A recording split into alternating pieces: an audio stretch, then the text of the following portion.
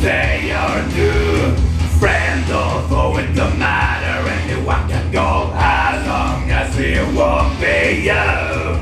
Always trying to find another fault is everybody your mother.